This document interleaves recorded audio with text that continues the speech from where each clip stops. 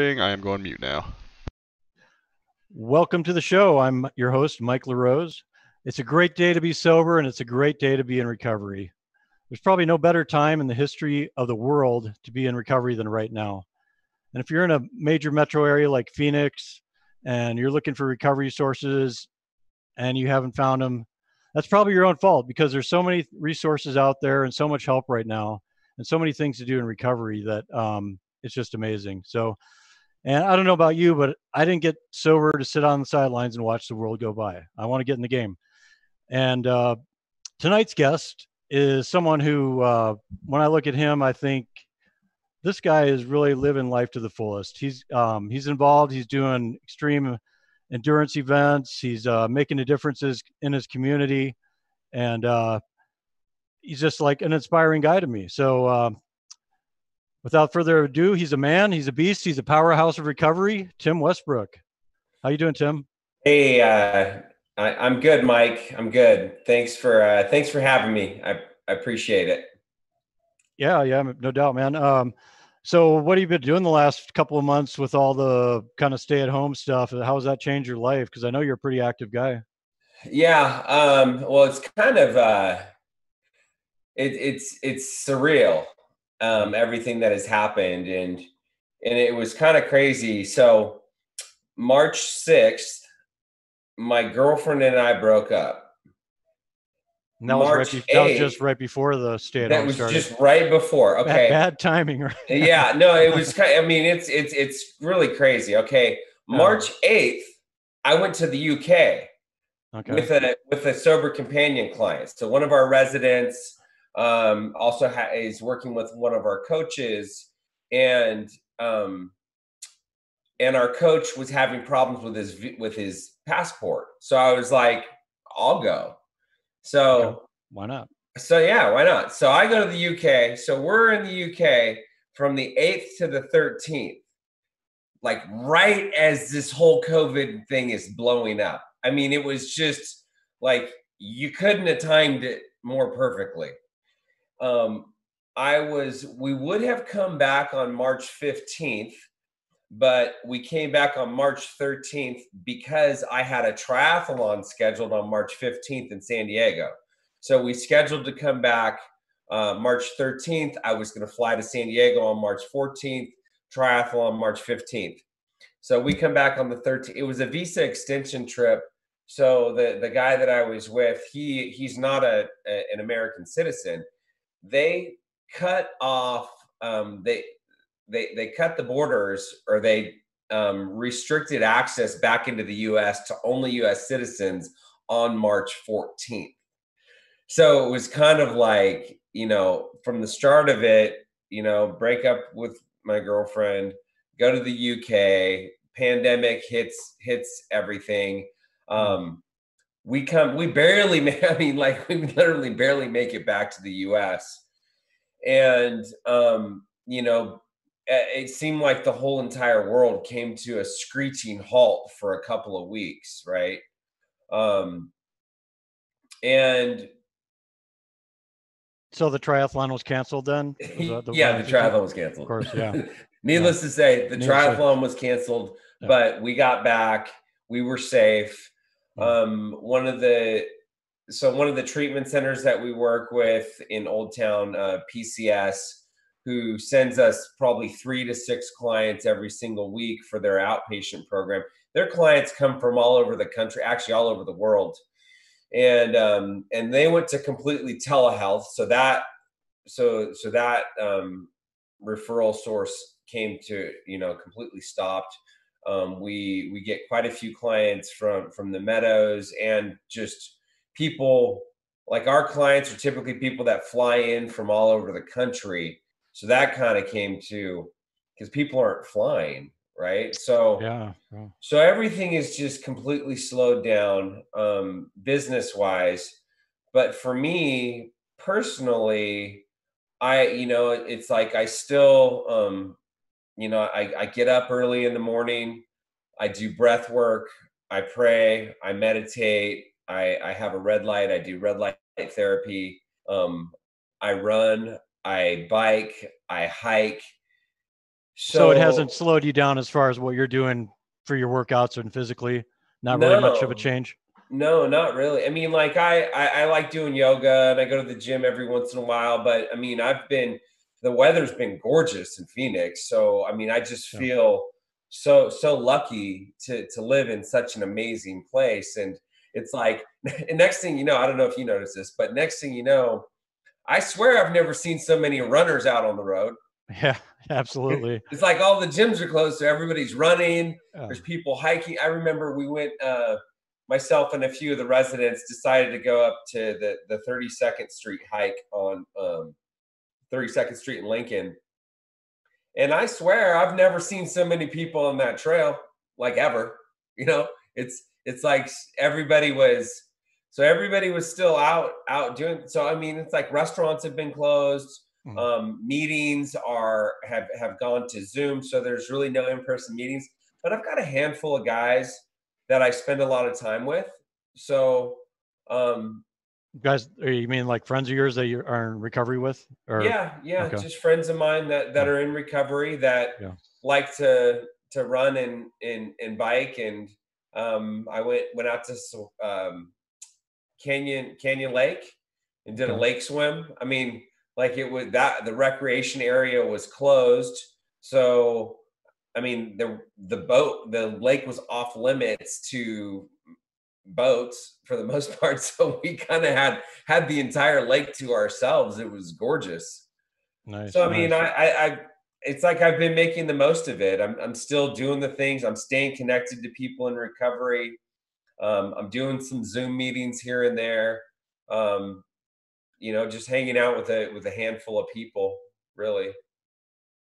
Nice nice. Okay so well have you always been into fitness or was that kind of a thing that um started with sobriety or how did that work? Um, I mean, I, I was kind of into fitness when I was younger, but mm-hmm. but but not really. And um, like for me, I, I, I got you know I got I got sober um, March eighth, two thousand eleven, and then and, and as you know, getting sober is more than just stopping drinking and stopping doing drugs. There's way right. more to it, right?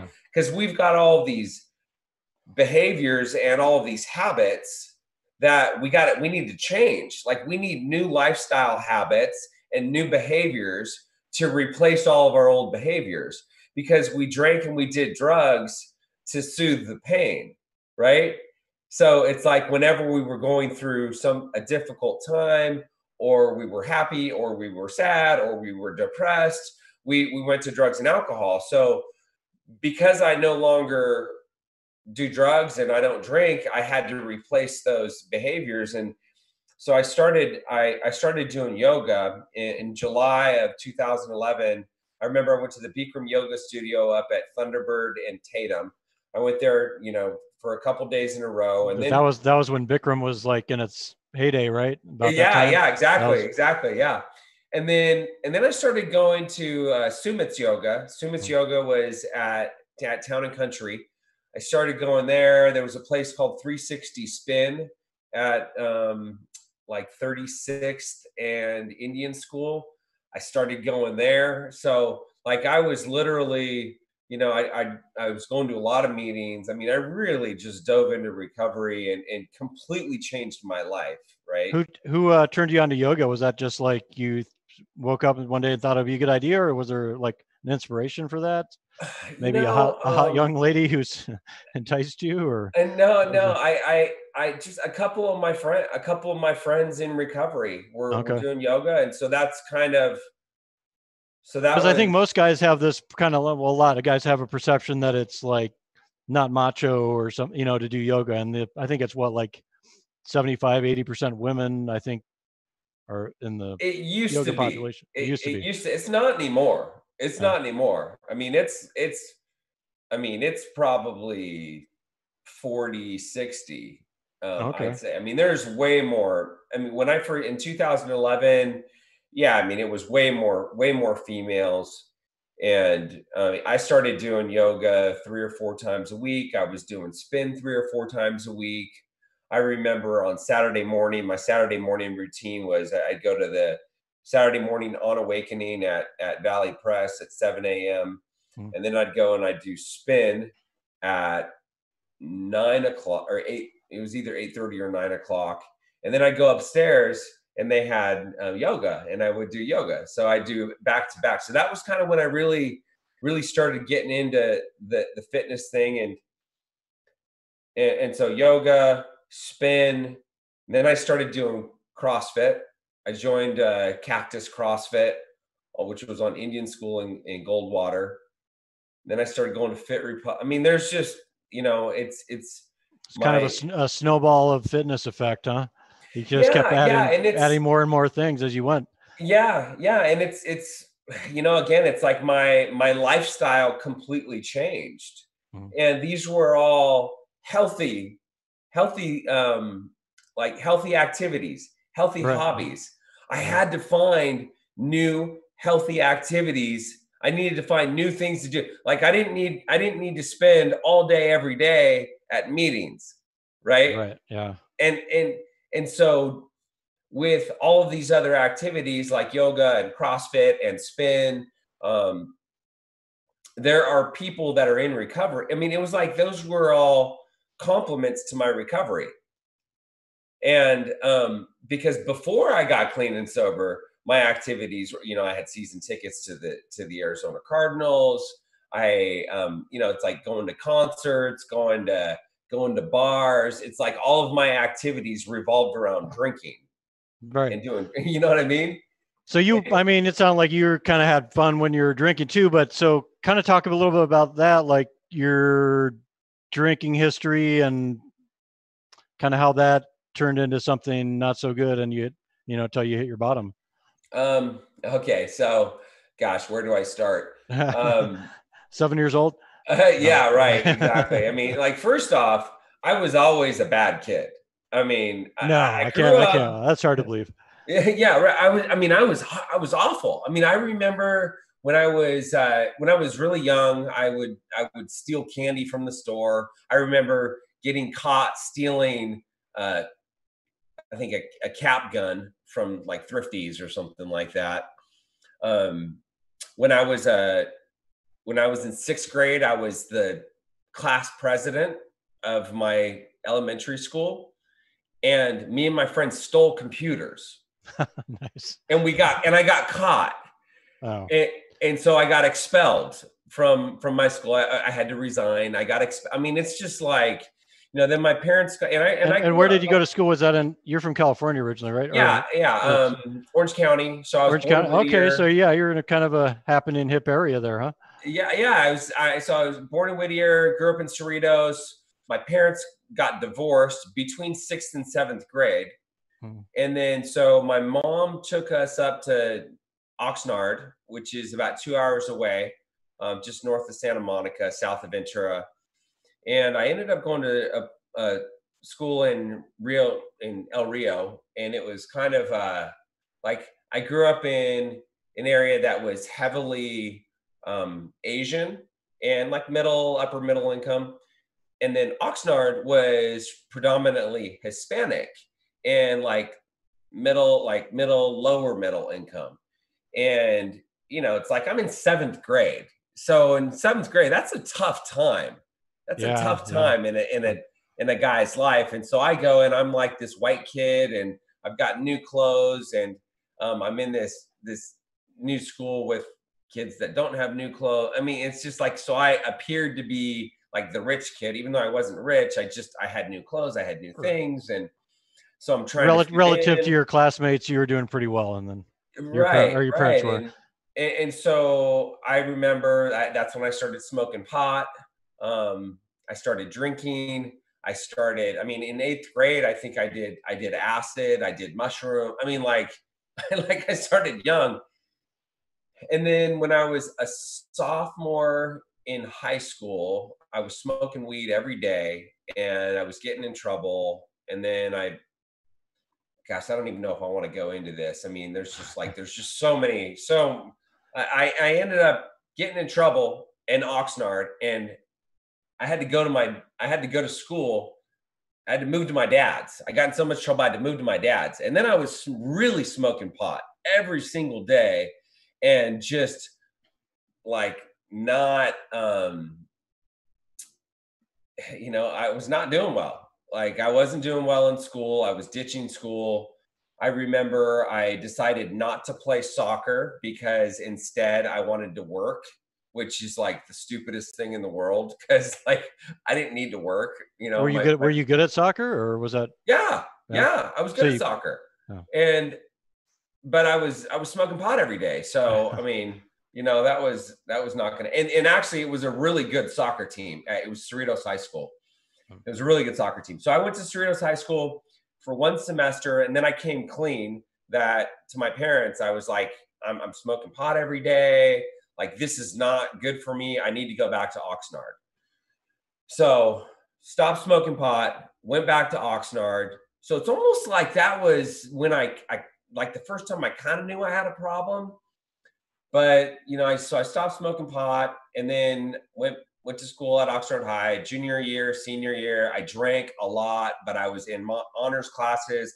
I played football. I was popular. Um, and, you know, I blacked out all the time, but I was like still getting good grades, still playing football, still playing baseball. I was still like, I, I had, I was able to hold everything together. Then I went to school at UC Davis. That's a pretty good uh, school. So your grades were then pretty good too, or did did you yeah. have any athletic no, scholarship? I, mean, I only had or? one bad semester. like when I was in at Cerritos High School, which was that that high school was way harder than Oxnard. And mm-hmm. and I was smoking pot every day and hanging out with the wrong people. So back to Oxnard, yeah, I had good grades. Um, I was taking honors classes, um, and I, I, got recruited to play football at UC Davis, and then uh, went up to UC Davis and and just kind of drank a lot. I mean, I drank a lot. I blacked out all the time. I, I mean, I still was doing okay in school. And then how about the football? How did that go? I broke my leg between between my senior year, the summer before I went to school at UC Davis. So I, I wasn't able to to to suit up at all or go to practice, and I just went straight to drinking. I I didn't even. I, I never played. I never played. I never practiced. I never went to one single. I never did any of that. I never. Um, pursued did, that at did all. Did you break your leg while you're playing, or was that a drinking thing? No, no. I broke my leg at the wedge in Newport in Newport Beach, huh. skimboarding. Okay. And a wave crashed on my leg. A wave crashed on your leg. So a wave crashed on my leg. Uh-huh. Broke it. Um, that must have been some wave to break your leg. It the well the wedge is in Newport. Beach. It's a place in Newport Beach that has massive shore break. Okay. And so um, the wave, I was I was skimboarding and I was going pretty fast, and a wave broke right on my leg, and I you know flipped over, and I remember just kind of dragging myself up to the sand, and I remember I was actually down there for Lollapalooza. So we went to Lollapalooza. I went and got a cane from like the drugstore Mm. And we went to Lollapalooza anyways. And I just drank enough to where my leg didn't hurt anymore. And then went into Lollapalooza. I didn't went two days in a row. And then went to the doctor and got a cast after that. So so I did that. Uh-huh. Um so back to UC so back to UC Davis and um my sophomore year okay so I started. Um, so there was this intern. So my freshman year, the end of my freshman year, there was this uh, this this painting, this internship where you could learn how to run a business. You run a house painting business over over the summer. You do all of your own sales and marketing and advertising and recruiting and interviewing. I mean, basically, you run your own business. And so I did that. So it was called Student Works Painting. So my freshman year, that summer i ran a house painting business and the whole the like everything behind that that like the culture of that company was drink hard play hard and if it's going to happen, I'm going to make it happen. And so, so I ran a painting business. I knocked on lots of doors. I got doors slammed in my face. Like I worked my ass off, and I did really well. Um, I did really well that first summer, and then the next spring. So that was the summer of '95 and then the next spring, April 19th, 1996, picnic it was picnic day at UC Davis, which is like a big just um it's just a big party. And I got super wasted and I don't remember anything and I tried to drive home 400 miles away. yeah. Um that's this so, sounds like a this is gonna have a bad ending. I, I yeah, sensing a yeah. bad ending coming here. Yeah, so so I fell asleep driving. I flipped over three times. Um, got flown lifeline to over to San Jose Medical Center. I was in ICU for four days, 24 hour care for 28 days, transitional living center for brain injured adults for six weeks, disability classes for six weeks. Like it was bad. I don't remember. And so you were any... you were driving alone. That you were alone in the car. Yeah. And you just you just went off the road and flipped. I fell. Yeah, I fell asleep. Just fell asleep. There was somebody behind me that I mean, it was like four o'clock in the morning, okay. and they were and it was on the five going down south. It was in uh, Santa Nella, right by Pea Soup Anderson's. And somebody behind me saw me flip over three times, and you know they called nine one one, and they they flew me over to San Jose Medical Center, and um, again, I was, you know, ICU, 24 hour care, uh, and then transitional living center for brain injured adults. So I like I I was it was it was mount I mean it was really really bad. Yeah, you're lucky. To, you're lucky you survived it, huh? Yes. Yeah. yeah. You look at the car, you're like that person didn't live. And, and and so for two weeks I don't remember anything it probably took me two years to recover. Like mentally i was i was slow. It was i mean they never they never uh, they didn't know if i was ever gonna come back to to you know they didn't know if i if i was ever gonna come back. You know it's like one day i'm five years old one day is uh, one day i'm 18 years old the next day i'm 56 years old. I mean it was just like nonsense coming out of my mouth. And that yeah it was it was a traumatic brain injury. Um, and then i remember i fought they said i was never going to go back to school at uc davis. And i remember I, I fought to go back to school at uc davis and they let me go back in the fall. And i remember how hard school was. And i was i i now had a disability so they gave me more time to take tests I had to study harder.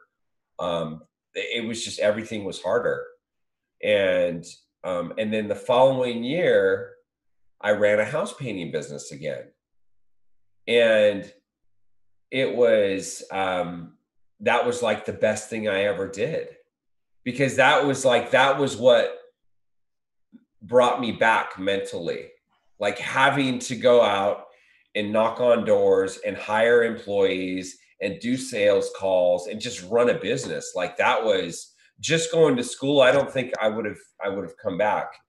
So that was um so luckily I I I, I did that and I and I started and I was and I still drank. I was drinking. Um, so you never had a thought of like uh, maybe I should. No, this was a bad accident. Maybe I should no, give up this drinking. No, thing? not even close. Never occurred not, to you. No, everybody said, "Oh my gosh, Tim, God's the reason you're alive. I mean, and, and at that time, at that period of time in my life, I was an atheist and I didn't believe. I was like, give me a break. You know what? Like, I'm I'm I'm I'm lucky to be alive, but I'm alive and it's all good. And so no, I didn't stop. I mean, I kept on drinking. Um, when after I graduated from college, was when I started doing doing drugs. Like I just drank and, and smoked a little bit of pot during during college, but not really. It was mostly mostly drinking. And I couldn't drink. And, and after the accident, um, for obvious reasons, I I couldn't drink that much. Like I could not hold my liquor, and I was a mess pretty quickly. And again, blackout drunk. I was very, I was really sloppy um, after the accident, and I just continued drinking. And then once I gra- after I graduated from college, I started doing ecstasy, and I started um, doing cocaine, and I started doing GHB, and um, I I overdosed on GHB several times. I ended up in the hospital several times. I actually. Well, GHB is a kind of a dangerous drug with that, isn't it? There's, I mean, as far as like the, the overdoses and the dying, there's been quite a few of those. Yeah, it's um, it's kind of like you can take too much really easily, and I took too much, a lot, like lots of time, probably ten times. I mean, like I I don't even know how many times I ended up in the hospital and actually one of the times i ended up in the hospital it was i was at a company function because um, i moved i actually ended up moving after i graduated from davis moved out to san francisco and then i moved to southern california to newport beach and i helped that company student works expand down to southern california i was living in newport beach i was dealing drugs i was uh, I remember I o- overdosed on GHB multiple times. And one of the times I was at a company function, um, I got fired. And that was kind of like my life, you know. Once again, you know, you got the accident. My life was kind of came to an end. And then you've got, uh, I got fired from Student Works. My life came to an end and again it was just my drinking and my drug use and then so what are your friends and family what are they telling you at this point are they saying anything or um I not um or did you just really. kind of did you isolate from them or did you hang out with people who are drinking like you drank and that kind of thing? Yeah, yeah. I mean I hung out with a lot of people that like to do drugs and and and party so so that was kind of i don't think i told them the, the real story i don't think i told them the truth they don't really know why i got fired from student works i think i probably turned the story around and made it sound like it was their fault i'm pretty sure that's probably what happened. And then i got another and then i got another job. Well actually okay so i got another job for a little while selling payrolls for like three months then i got fired. And then um, I moved back up to Davis to start a house painting business because I knew I could run a house painting business because I was in debt. I was like fifty-five thousand dollars in debt. Um, at that time, and and I just I like I needed to make some money, so I knew I could go start a house painting business. I called my friend Jeremy Brooks, who was a painting contractor in Northern California. I moved up to Northern. Like I remember talking to my roommate Grant Dietz in when I lived on the peninsula in Newport Beach. And I remember telling him, I said, you know, I think I'm going to go, I think I'm going to go up to Davis and start a house painting business. And he, and he kind of said sarcastically, like, okay, are you, what, are you leaving tomorrow? And I was like, um, yeah. so, he's like, he's like relieved to have you going or what? No, I mean, no. I, I, no, no, I mean, I paid rent. I was a good roommate. I was fine. Okay. I paid rent. I mean, you know, I wasn't I wasn't there very often, mm. and um, I moved up to Davis, started a house painting business, did that, did really well with that. And again, drinking, cocaine, drugs, just, but it was like, I mean, I didn't have any real friends or real relationship. I mean, it was just I was I was a wreck, man. I was a wreck. I I got offered a partnership to start um, the Northern California division of College Works Painting, which was a competitor to Student Works Painting.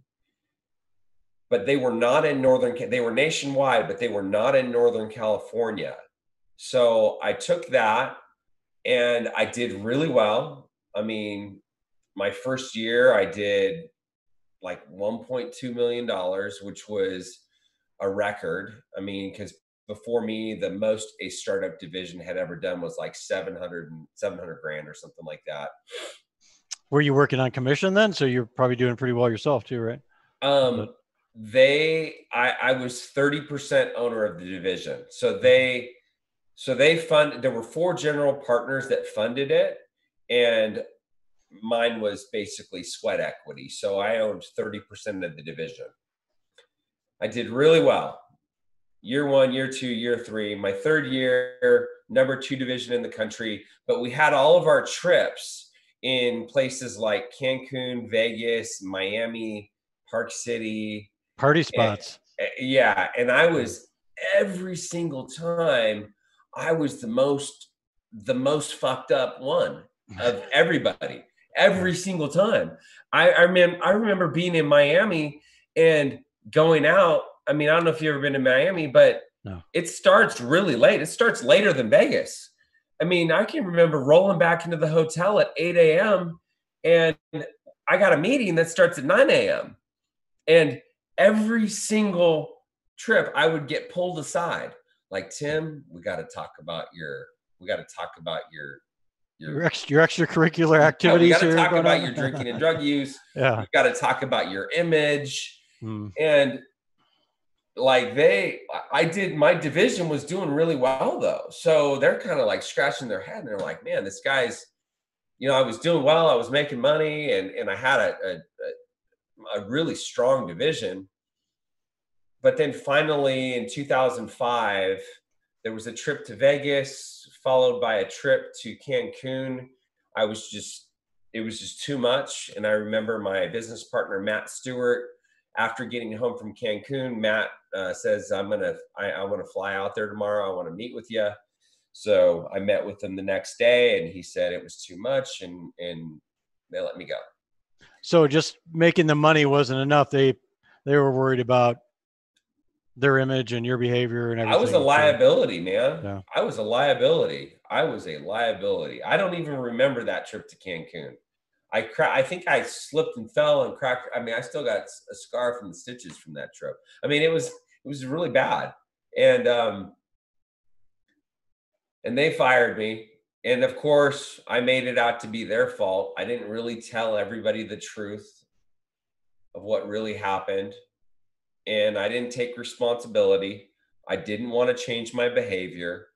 Um, so I owned 30% of the division. So I ended up getting paid. I mean, and I flipped, and it was like early 2000s, and real estate market was hot. So I flipped a few homes. I made some money on a, a couple of homes that I flipped. So I was just, I mean, I was just, I was out of control, but I was making money. I was, I was able to like hold it together, but you know, I lost my my because college works was my life. That everything I did, I'm a workaholic, I'm a drug addict, I'm an alcoholic, and everything my, my whole entire life was tied up into that company and all of my friends and everything I did and and boom came to an end. And then I remember we traveled across and then i and then i had to like show everybody I was okay right? So so we traveled across the country we went to europe i proposed to my then girlfriend now ex-wife um moved to arizona bought a few bought four homes in arcade i mean it was you know it's like i i made some money i gosh i don't i i so i i bought a bunch of homes in arcadia and then the market, and that was like 2006, 2007, 2008. Then the big crash. Yeah. I mean, it was just like, and I started this vacation rental company. I didn't even have a real estate license when I started it. And I started managing people's properties. And I was like, oh, I better get a real estate license. And, but I never really, I never set up a, a broke, a, um, a trust account. And so, and do you know anything about a trust account? Oh, for like uh, when you're making a, a payment for uh, a house or something, is that or is that? A- yeah, I mean, basically, when somebody was going to stay in one of our vacation rentals, they would give us a deposit, and I was yeah. supposed to put that deposit in a separate account and not do anything with it right. until you know. That's kind of yeah, how the time. I mean, built, it's kind of like a timeshare like that, where they they have a trust account They put the funds. Yeah, kind of. Yeah, like attorneys have trust accounts. I mean, with Okay. a trust account, the money is to be held in a separate account in trust. You don't touch that money until it's used. You don't trust that money until it's earned. It's not earned until after somebody stays in the property. So if somebody gives me a deposit, like it's it's May right now. So if somebody gives me a deposit for July and they give me a deposit, I'm not supposed to touch that deposit until after they stay with me in July because that's when it's earned. So I was I didn't even have a trust account. I was like my I was just money was going everywhere. I mean, I had money coming in. mon- I mean, I was using money inappropriately, essentially, and, and I wasn't stealing money from anybody. I, everybody got paid, but I was using deposits to fund the operations of the business, which is not it's not the right it's not the right thing to do. And I remember I got sober in 2011, and and so I, at this point I had already like I was already upside down, and I remember talking to my sponsor and saying, "Hey, man, what do I do? Like I've got all the you know I'm, I'm upside down. I don't have enough money." And I remember my sponsor saying, "What do you you think you're the first person that's done this?" like, okay. And mind you, again, 2011. So you've got a lot of people that are that are, or actually, no, I'm sorry. Okay, so 2011, 2012. So okay, so I'm getting I'm, I'm getting ahead of myself. Um, so I got sober 2011. Was there Uh, kind of like a event, some kind of climax yes, there was an event. So first off, my ex-wife and I were were like we weren't getting along. We were working together. The economy was in the toilet. Um, we weren't making money. We were working together. You know, it's like we're, we go to work, we're working, we go home, we talk about work. We're financially stressed out. I'm drinking. I'm, you know, it was just it was not not a good situation. And then we had a, a weekend where a couple of my buddies, my friend Sep and Sep was coming into town. And I remember Sep said uh, he was supposed to come in with in town with his wife. And then I was going to hang out with my wife. So it was going to be a couples weekend. And Sep calls or he sends me an email like a week before or a few days before the trip. And he said, Hey, um, my wife's not coming and Cameron's coming instead. And I was like, whoa, okay. So I tell my wife that his wife's not coming. And so now all of a sudden, this couple's trip turns into a guy's weekend. And she doesn't like guys' weekends because guys' weekends are when bad things happen. Bad thing. Tim gets in trouble with guy when he's hanging out with his buddies. So he had a room at the W. So we ended up staying at the W. Um, just a, a bunch of uh, shenanigans that night. Um, some things happened. She found out, um, and and she she left me. She basically said, um, "I'm leaving you. The only way I'll consider taking you back is if you never drink again." You go to rehab and you stop playing golf. I stopped playing golf. Yeah, I was like, That's a new one. I haven't heard that one before. yeah, I Uh, mean, I, I don't really know what the golf thing was. I don't know what that was about. But regardless, I said, okay, I'll get sober. I'm not going to rehab. I don't understand the golf thing. And so I, I went to my very first meeting on March 8th, 2011. Went to the meeting on 42nd Street in Thomas, the birthday cake meeting. And I remember pulling into the parking lot and it was, uh, you know, it was a seven o'clock meeting. It was still light outside. And I remember pulling up and there were a bunch of guys in front and they were, they were laughing and just having such a good time. And, and I was sitting in my car and I was crying and I was like, what in the world? Why are they so happy? And I went inside to the meeting. I sat down next to a guy named Michael. And and you've been to this meeting, right? You know what I'm talking about. They call newcomers to the front. I no, I haven't been to that meeting. No. Okay, so it, so they call newcomers to the podium, and I had never been to an AA meeting before in my life. And they called me to the front, and I remember telling the story about what happened over the weekend, and everybody laughed. They were laughing. I was crying. They were laughing. I was. I mean, and and immediately I just felt I felt so welcomed, and I I felt like you know guys came up to me they gave me their numbers they said hey go to 90 meetings in 90 days here's a big book call me here what's your phone number um, let me call and and guys called me and i called them and i went to a meeting the next day. I went to prince of peace. I got a sponsor. And i just kind of like i dove in. I really just started um, I, I started working the steps. Like I, I did i took all of the suggestions. It was my best and i understood my best thinking got me where i was. And so you didn't actually then go to rehab or i did not go to rehab oh.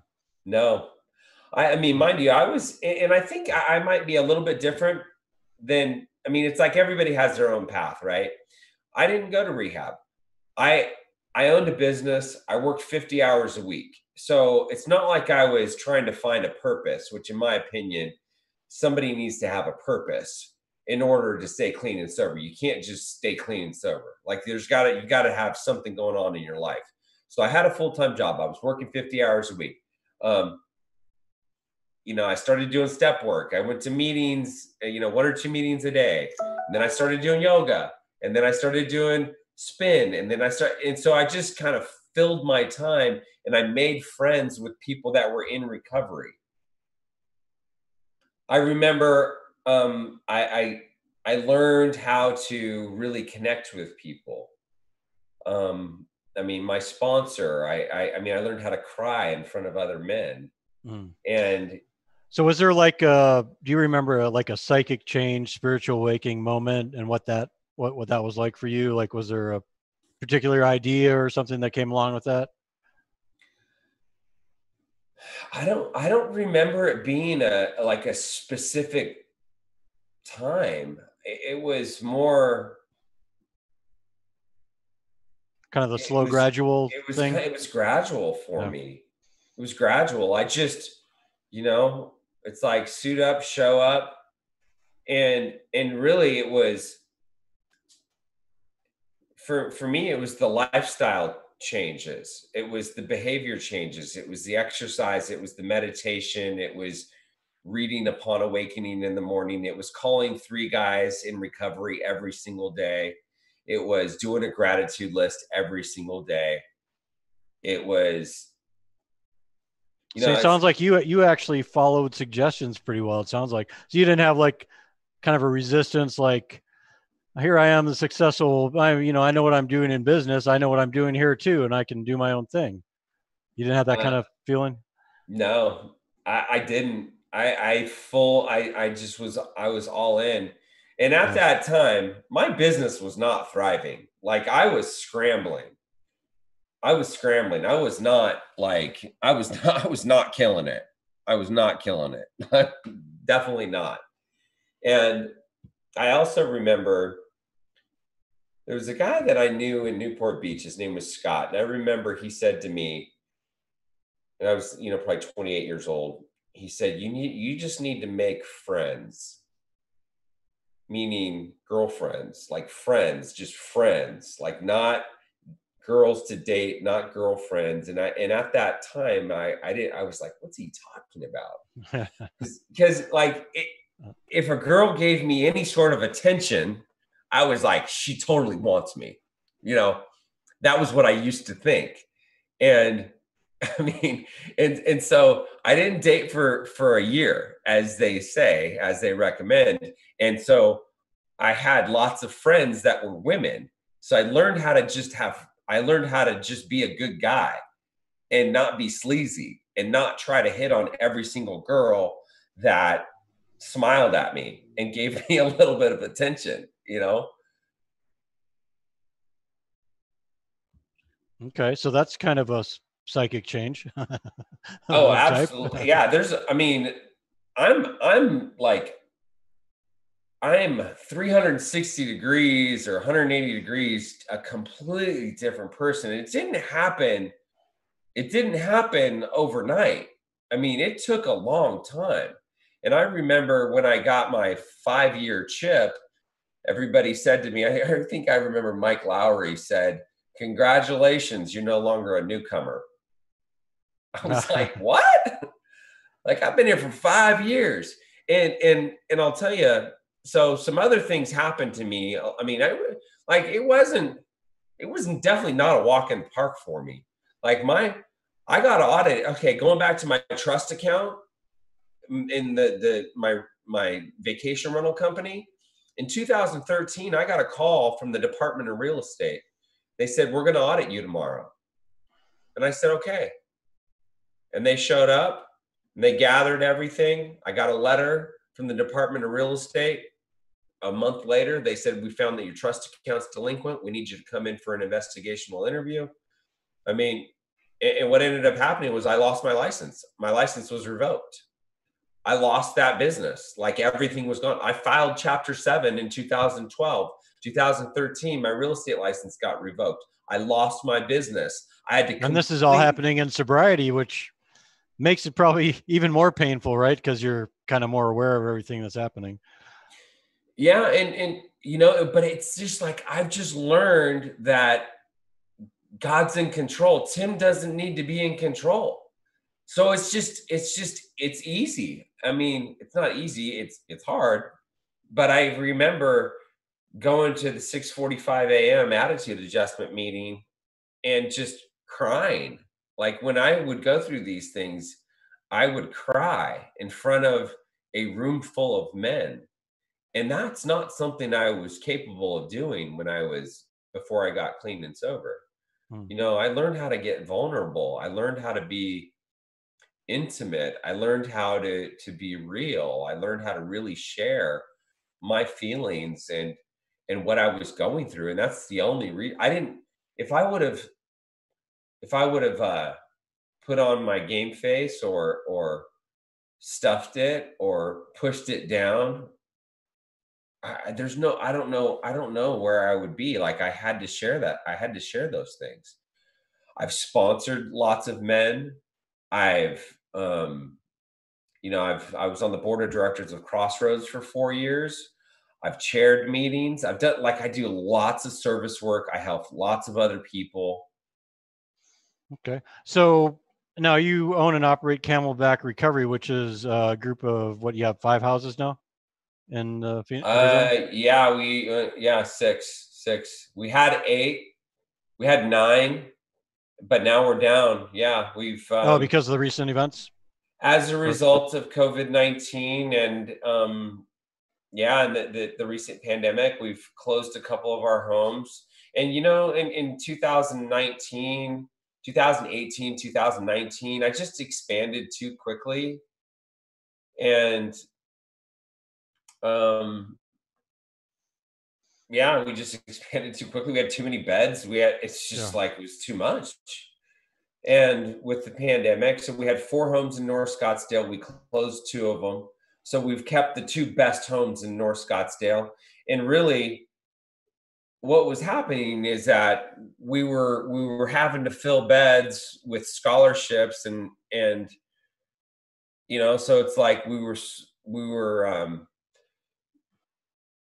like I would prefer to focus on providing excellent service. I don't want to cut corners. Our the rates we charge, although they are higher than what other sober livings charge, the services we provide are are above and beyond, way above and beyond what other people provide, and mm-hmm. our expenses are a lot higher. So right. So, to- um, talk about some of those services briefly. Like, uh, I mean, well, I worked for you for a few months, so um, like three years ago. So I kind of know that. But I guess for the audience, like um, you have meals prepared every evening, right, or five nights a week. Yeah. Or... so our so so I I've learned to kind of um, really, uh, I guess, um, uh, correctly talk about or describe our program Mm-hmm. So our program is based upon five pillars: accountability, support, structure, community, and purpose.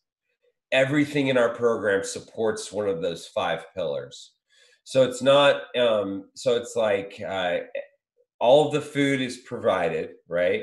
And food and nutrition being such an important part of recovery it was such an important part of my recovery. It's an important part of brain recovery, gut health, and um, we need food. We need good, yeah. healthy, nutritious food. Yeah, and that's so what we, I like so much about your program. When um, I was there, was that you're like the first guy I had met in a sober living who was talking about nutrition and getting a good diet. Like they just, I mean, other places you're just like you're on your own, kind of. You know, they don't really, even if they're serving food, they don't really, you know, necessarily make it nutritious. So. Yeah, and and and I've learned, and so what I've learned also, what I've realized, anyways, is that us providing food is way more than just us providing food. It, it's it's you know it's like it pro- it promotes the community being one of our five pillars. So it's like everybody's up in the morning, they're cooking breakfast together, they're talking about their day, they're getting the day started. Um, all of the food in the house is everybody's, right? And um, and then there's it, which and, and you know this, it's like when at most sober living homes, everybody buys their own food. And the what happens, and, and so it's not possible to really, if you're trying to eat healthy, you can't really eat healthy if you're you can't shop cost effectively if you're shopping for one person. So it's really hard to eat healthy if you're shopping for one person. And when everybody has um, everybody buys their own food. You've got all the foods labeled. You've got all this food in the refrigerator, and everybody has their little cubbies. And, and you have a refrigerator full of energy drinks and hot pockets and frozen burritos. Right. right.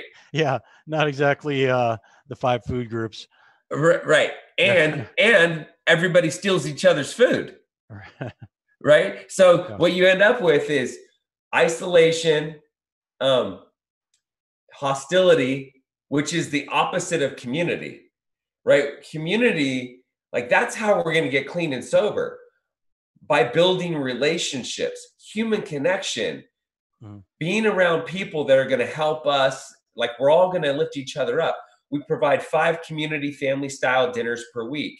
I mean, you know, you were one of our homes. It's like that's it, man. That that talking about your day, reflecting on what happened today so so us providing food is such is is one of the best things that we do um, yeah that's right that's there is a sense of community when you're having dinner together at the same time right and rather than everyone just maybe ordering a, some guy orders a pizza another guy's cooking some uh, ramen you know another guy you know might not be eating at all so that that really brings everyone together for a few minutes too yeah Let's see here. What else do we do? We utilize technology assisted care. So we have an app. It's called the Camelback Accountability and Support app. That's how we track everybody's activities throughout. So yeah, day. so you're actually like GPS tracking them too, so you know where they are at all times. Is that?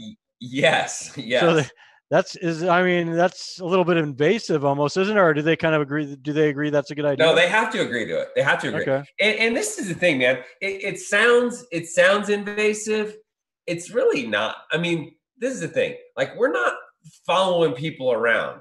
Like, they, yeah, we know where they're at, but we're not going to micromanage their schedule. We're not going to say, hey, where'd you go today, Michael? Yeah. Well, it says here on your GPS that you were in Mesa. What were you doing? What were you doing on Van Buren? I mean, yeah, it, I mean, if you're on Van Buren, but actually, we're probably we don't even ever look at it unless we really need to look at it. And I, I, I like to say GPS tracking is is similar to drug testing. We drug test two times a week, but the reason we drug test is not to catch them. We, drug testing is preventative, right?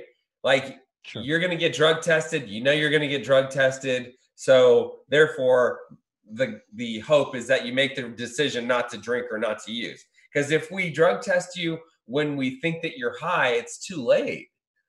So that's the same thing with with the GPS tracking. You know that we know where you're at. It just promotes honesty. That's it, man. That's all that's all there is to it. Is we you know that we know where you're at and therefore you make a, a decision not to go down to Van Buren just to check it out. that sounds like one of my stories. Yeah, let's, let's go drive by the neighborhood yeah, down here, see what's happening. yeah, let me just do a quick drive by. Right. Yeah. You know, and and and you know, and I know what a drive by leads to. Yeah, yeah, leads to well, it lead to me shooting dope, probably. You know, uh, kind of yeah, yeah, yeah, right. I mean, anybody that's and so that again, that it's just it's all about accountability. Um, you know, we provide recovery coaching, which is you know one of the best things that that we provide in my opinion. We started offering recovery coaching free of charge to people for for two weeks um, just because you know a lot of a lot of people don't understand. They think uh, you know well i have a therapist or i have a i have a sponsor and a recovery coach is not the same thing. I mean it's just like with anything you do if you have a coach that you pay you're gonna like you're gonna get better results. Um because you're seeing some value in it because you're paying for it you're seeing more value in it than if it was like a, a sponsor who you're not paying for? Partially yes. Um so a sponsor like a sponsor's job is really to take a guy through the steps. A sponsor's job is related to 12 step recovery right and a lot of sponsors do more than that but a coach is is everything it is it's like a life coach. So it's way more than just a sponsor. And a sponsor is not going to be available every single day. You know what i mean? Like my sponsees i'm not i'm not i don't talk to my sponsees every single day. A coach is available every single day. And a coach gets paid to help you find a good meeting to help you write a resume to help you like hey let's go find a job. What's the next thing we need to work on? Sure. Um, so what's the uh what kind of rates are you talking about there for having a recovery coach? Uh, so it starts at about a thousand dollars a month. The resident rates start at about a thousand dollars a month. And okay. so that's like the most basic package. Yeah. Okay. That's i mean that's reasonable sounding to me for i mean that's someone you can call every day and you spend maybe a certain number of hours with them a week too? Yeah there's yeah there there's amount of, there's there you're on the app. And, and so people that utilize our coaching service aren't just residents they're residents or people that used to be residents. Like we've got a, a gal that works for us her, her name's kellen. She was um, she went to the meadows inpatient. She went to the meadows outpatient. She was a resident at serenity ranch she had a coach and she kept a coach for about a year after she left Serenity Ranch. And she's been sober for 18 months and she works for us now. And it's like she had been trying to get clean and sober for a long, long time. So the the coach is kind of like the wraparound service that protects your investment. I mean, a coach is just it's so much, it's so much more than just uh you know, it's a, a coach is going to with a therapist a coach is going to communicate with your sponsor a coach is going to communicate with a parent with a spouse with a loved one. It's just it's a it's another layer of accountability and support. Mm-hmm. nice nice. Yeah that's and you know that's uh, i guess maybe because of the crowd you the demographic you're aiming for that's something more that they'd be a able to afford and be interested in, um, rather than maybe the typical um, sober house resident. But yeah, um, yeah, no, and, and and and it's kind of and again, one other thing I just want to mention, it's like I know, like I have a, a triathlon coach. I mean, you know, I've been doing triathlons. I did Ironman a couple of times. My mm-hmm. first year I did Ironman, I mean, I had a coach, and I mean, I was in the top five percent of my age group yeah. No, yeah, I worked out with a personal trainer last year, and it, it I, I, I mean, it was the best workouts I've ever had. You know, I put on like ten pounds of muscle, and you know, it was great. Yeah, I see the value in it. Yeah, so it's like with anything you do, it's like if you have a coach, you're going to do a, you're you're going to you're going to get better faster. And so we're offering it free of charge for the first two weeks to all of our residents. And that's through at least at least the end of May. We might continue it after May, just Mm. because it's even if somebody doesn't pay for the service after the two weeks, we want people to re- we want people to succeed. We want people to recover. And I know that if they develop a, a, a morning routine, we get them dialed in with a with a sponsor, we get them dialed in with a home group, we we kind of get them headed in the right direction as opposed to floundering for that first couple of weeks. Like if we can get them on the right path ASAP, like I, I know that they have a better shot. uh-huh. Definitely. Yeah. So, um, you see, you were saying your uh, occupancy or your uh, you have some, some open beds right now. It sounds like, right? Or Yeah, yeah, we've got a you- couple open beds. not? Okay, not not bad though.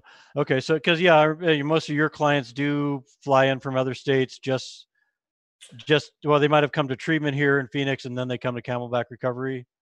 Or Yeah, a lot. We're we're typically a step down, so people typically go to inpatient somewhere, and then after inpatient, they stay with us.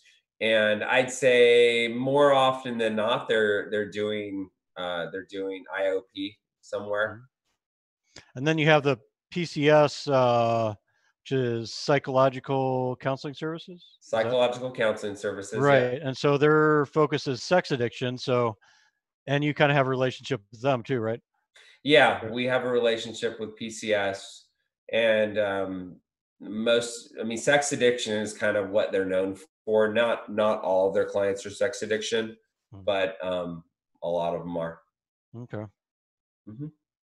so well you kind of had a downturn are um you kind of planning to just kind of uh hold off for a while and then continue expanding what are, what are your long-term plans You know, um, I just want to. I just want to provide.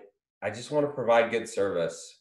Mhm. So, I'd like to put more energy into coaching. I'd like to just do provide excellent service at the houses that we have open right now.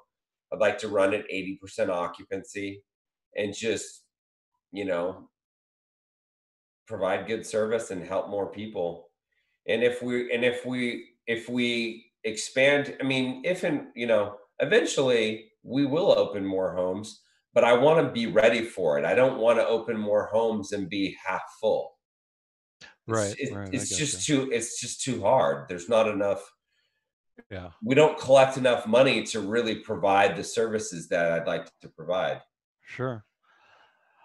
Yeah. So, um, well, I was thinking, you know, the one of the differences, uh, you know, with your type of client compared to maybe someone who's going to uh, sober house in Central Phoenix, you know, and paying 150 a week.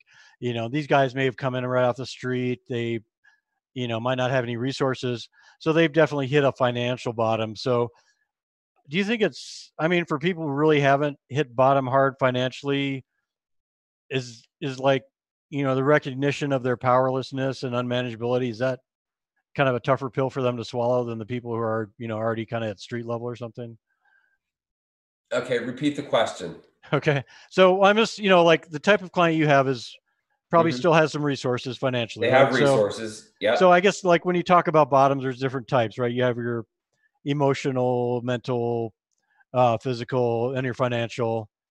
So and you know like a lot of like the places in central phoenix or those different areas where they're you know the it's maybe 150 a week maybe less. You have people coming right in off the streets and they've definitely hit a bottom in probably all those ways right Mhm. whereas a client coming into you know camelback recovery still has some resources probably um and so what i mean what's the bottom like for them if it's not financial it's just different. I mean, like they have resources, but they can still be at a bottom. They can still Sure. be emotionally and spiritually bankrupt. I Sure, mean, it's right. like their wife left them. They, I mean, it's just like there's, it's just different. You know, so uh, got, yeah well, I, I work with guys who uh at a treatment center who are you know they're on state insurance. They might have been homeless if they weren't there. And a lot of them think if i just had money my problems would be solved right? They're sitting there in treatment thinking if you know if i had some money my problems would go away. But then you have people you know then obviously you see like people coming into treatment with money and they still have the same set of problems really right? Eh, yeah they're like having too much money is not good. Like because then you then you think you're better than other people. You think you're, you're smart. I mean the people that that come to that come to camelback um a lot of time not always i mean there's more entitlement. There's they they still have financial resources. They think they're better than the person that it doesn't have any resources which Uh, not always not always. I mean that's not, that's not always the case. It's just it's just different. Yeah. It's just different. I mean but there's still it's like you have a lot of drug addicts and alcoholics that are that are just lost. And just because they have they drive a nice car and they have a good job and they make a lot of money doesn't mean that they're living a happy life. Mm-hmm. it's like that's the the goal really is for us to live to be happy joyous and free. Right, right? yeah. And, and to find that purpose like you found a purpose in recovery um, you know running the sober living is that that'd be one of your purposes? You probably have maybe others i, don't, I mean that but that's kind of your your main thing right now right yeah no it's i mean it's it's just being in a business where i get to help other other alcoholics get clean and sober yeah. i mean it, it helps me getting to help other people helps me it's just like and, and it forever I was selfish, self-centered Tim, and it's all about Tim. And so I made decisions because you know you, you lie, cheat, and steal to get what you want. But really, when you're on the path of recovery, you learn how to, and I learned how to be honest, and I learned how to be of service, and I learned how, like, I got all of the things that I really wanted. Because we lie, cheat, and steal to get money, drugs, and women because we think that's going to make us happy, but that doesn't really make us happy. What that does is it leaves us empty, leaves us empty. We cause wreckage. We feel guilty. There's guilt and there's shame and there's, and when we help another alcoholic get better, if we do, if we're of service, like that's how we really get fulfillment. Mm-hmm. So how do you kind of pass that idea along to clients, you know, because I think that's kind of a foreign concept for a lot of people entering recovery. Like, so helping you helps me. How does, I mean, like I remember that was like a strange one for me, you know? No, I, hey man, I trust me. It's a, and, and I think that's, you're not alone. Uh, I mean, and, and for me, I just was willing to take suggestions and I listened, you know, it's like they say, listen to the winners and, and I and I looked at what all the people that were successful in their recovery and I listened to what they shared at meetings and I stayed connected to these guys and and I kind of you know it's like if I want what he wants I have to do what he does. Mm-hmm. It just it, it didn't it didn't happen overnight.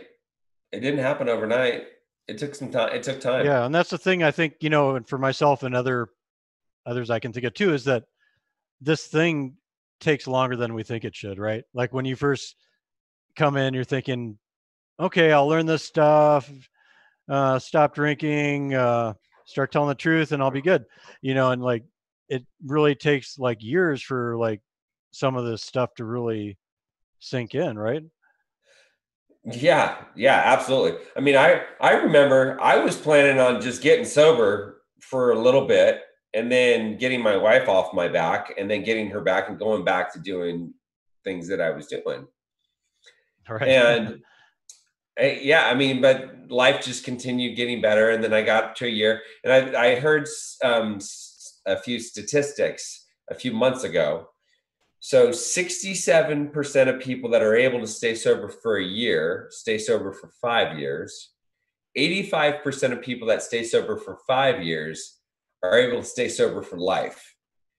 And it's like, huh. So if you can get to that five year mark, your odds are it just are exponentially Yeah, increases. Yeah. yeah, and, and, and I, I I actually don't even know where those statistics come from. I I, I haven't even verified them, but Yeah. you know, being being around for for nine years, I'm like, yeah, that I mean that sounds checks that out, yeah. sounds about right. That sounds about right. I mean, most people are not able to make it to a year, so really, like, you got to do whatever you need to do to make it to a year.